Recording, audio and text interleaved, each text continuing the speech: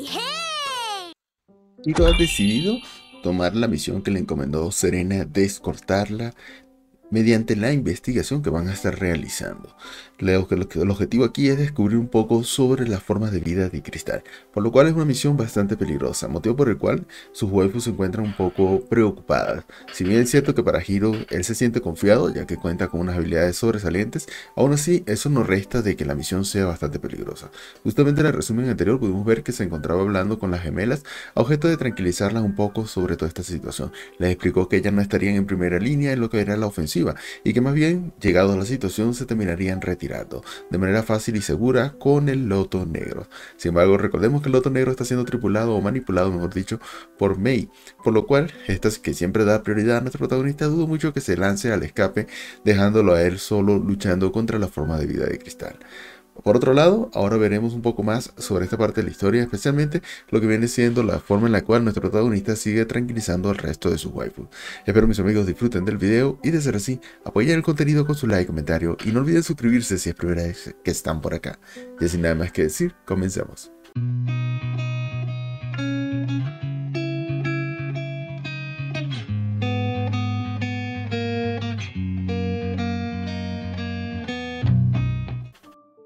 B6.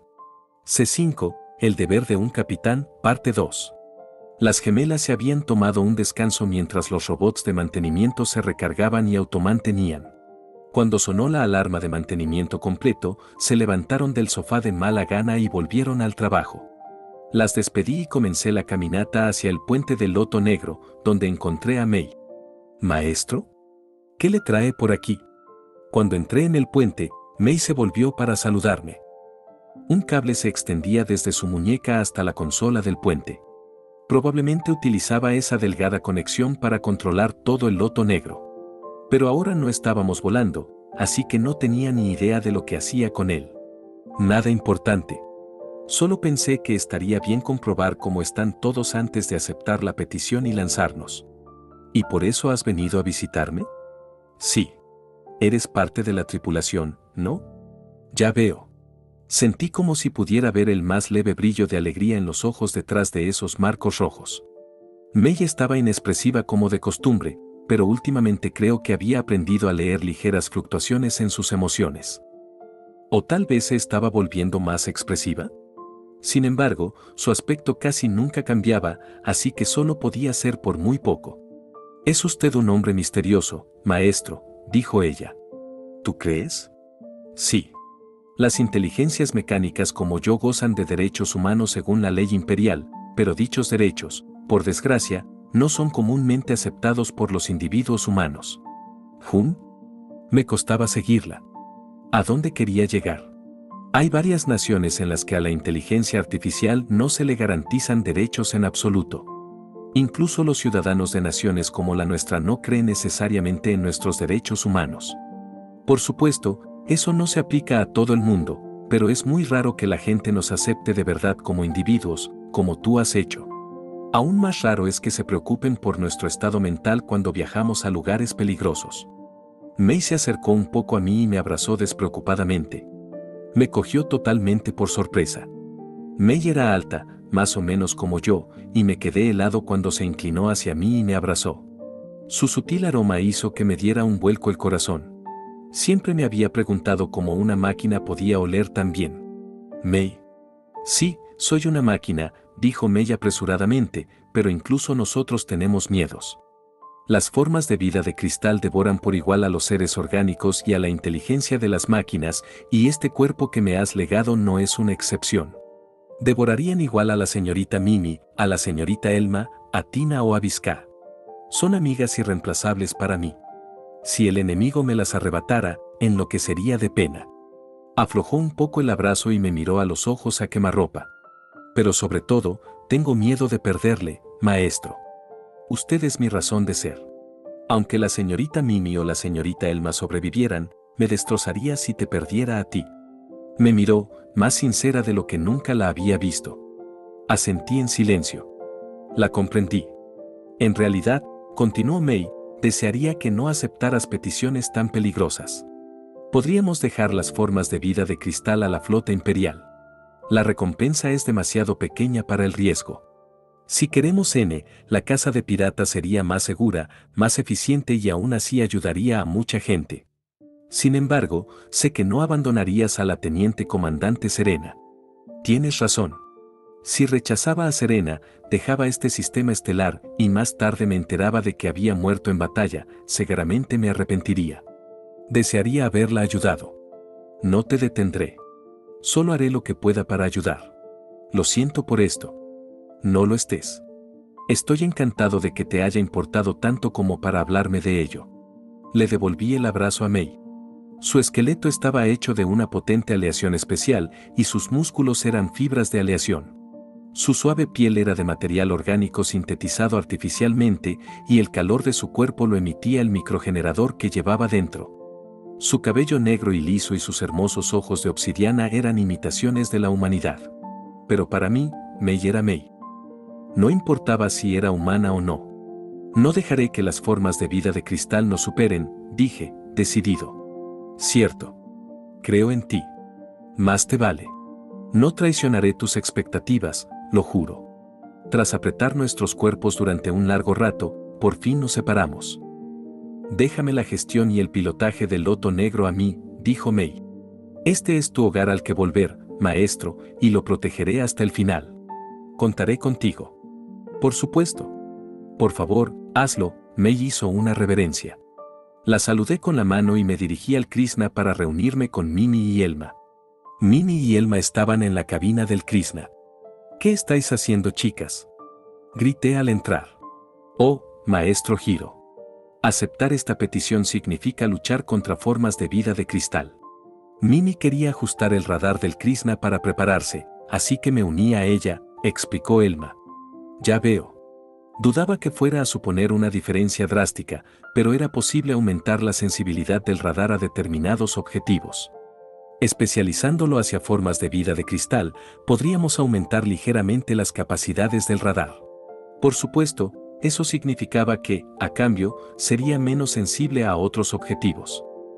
Una vez que lo ajustas, puedes programarlo como preajuste y cambiar de modo en cualquier momento, añadió Elma. Ya que estamos aquí, pensé que sería buena idea programar unos cuantos preajustes. Es una buena idea. Úsalo bien y estarás por encima de otros operadores. Lo haré lo mejor que pueda. Revigorizada, Mini siguió pulsando botones en la consola. La observé desde la entrada de la cabina. Verla aquí, con todo el aspecto de haber nacido para manejar naves, me recordó el día en que la traje a bordo por primera vez. Entonces estaba muy nerviosa y tensa. Ahora era toda una operadora. ¿Cuánto hacía que no nos veíamos? Era difícil mantener la noción del tiempo en las naves, así que no podía asegurarlo. Pero no podía hacer ni un año. Debía de tener mucho talento escondido para mejorar tanto en menos de un año. Por supuesto, también era el resultado de su duro trabajo. Había pasado cada momento libre usando su tableta para estudiar el trabajo del operador. Mientras estaba sumido en mis pensamientos, me di cuenta de que ambas me miraban fijamente. ¿Pasa algo? Elma preguntó. Estás ahí de pie sin hacer nada. ¿Te preocupa la petición? Preguntó Mimi. No, no es eso. Estoy pensando en lo genial que te has vuelto en tu trabajo, Mimi. ¿Qué? Eso no es verdad. Todavía soy solo una novata, Mimi se sonrojó y agitó las manos enérgicamente. Seguía siendo una novata en algunos aspectos, sin duda, pero nunca había perdido la calma en medio de la batalla. Cuando trabajaba como operadora, parecía tranquila, serena y segura de sí misma. Tiene razón, convino Elma. No te pareces en nada a como eras en el sistema Tarmain. O, incluso tú, Elma. Mimi hizo un mohín de vergüenza. Pensaba que nos estábamos burlando de ella. No sé, Elma, pero yo hablo en serio. ¿Perdón? Hablo totalmente en serio. Pero supongo que sí vas a volar en la nave. De giro, tienes que aprender rápido. De acuerdo. Todo gracias a ti, maestro Giro, Mimi de repente volvió la conversación hacia mí. Yo. Sí. Con el nivel de experiencia que tenemos aquí, seguro que crece rápido. Mimi asintió a las palabras de Elma. Para ser justos, habíamos abatido a muchos más piratas espaciales que otras naves. Eso significaba que había vivido montones de batallas en relativamente poco tiempo, tal y como dijo Elma. Tal vez la experiencia real estaba vinculada a un crecimiento rápido, pero esto no era un videojuego. Eso no podía ser todo lo que hacía falta para convertirla en una mejor operadora. No estoy de acuerdo. Creo que es más por lo mucho que has estudiado, Mimi. Eso es totalmente parte de ello. Los esfuerzos de Mimi, combinados con el ambiente de entrenamiento básico de Giro. Yo no descartaría tu orientación, Elma, dijo Mimi, que ahora también se deshacía en elogios hacia Elma. Sí, estuve de acuerdo. Es todas esas cosas combinadas, seguro. Bueno, puede que sí. Entonces, ¿de qué estábamos hablando? Elma se sonrojó un poco e intentó cambiar de tema. Sobre lo linda que eres, si no recuerdo mal, sonreí. Se pone un poco nerviosa cuando está en el centro de atención, ¿no? Jesús. Deja de tomarme el pelo. Nos reímos y pedimos disculpas a la furiosa elfa. Tras recuperarse, Elma me miró fijamente y preguntó, Giro, ¿qué es exactamente lo que estás haciendo? Nada en particular. Solo estoy dando vueltas para ver cómo está todo el mundo. Jun. Elma se acercó a mí y olfateó con delicadeza. Te has estado acercando mucho a alguien. Uf, qué miedo. Hueles como otra chica. Mimi soltó una risita ante nuestro intercambio. Oye, esto no es gracioso. Estoy muy asustada. Entonces, ¿qué tal si te acercas un poco más a mí y a Mimi, también? Es una buena idea. Mimi estuvo de acuerdo. Por favor, sé amable conmigo. Oh, ya sé. Necesitaremos que nos pagues por toda la espera que nos has hecho. Pasar, Elma tomó mi brazo izquierdo, Mimi tomó mi derecho, y comenzaron a arrastrarme fuera de la cabina. Primero, que nos dé de comer en el comedor. Dijo Mimi. Buen plan. ¿Qué hacemos después? Se preguntó Elma. ¿Qué tal si hacemos que nos dé un masaje?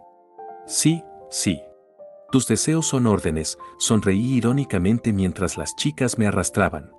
Oye, también podría disfrutar un poco de que se aprovechen de mí. Una vez que aceptemos esta petición y nos lancemos, no habrá mucho tiempo para flirtear. Ok amigos, por acá llegó esta pequeña parte de la historia.